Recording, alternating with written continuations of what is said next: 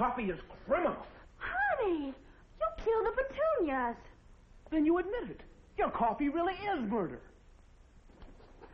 Papa Eddie, my coffee, it's murder. It's either too bitter or too weak.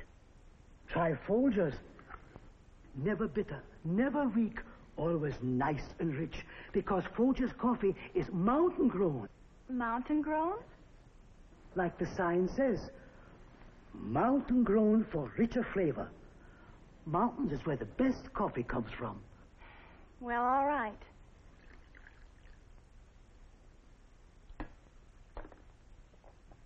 You know, it's a crime not to have delicious coffee like this all the time. We will now that I've discovered the mountains. Ooh. Folgers Coffee, mountain grown for richer flavor.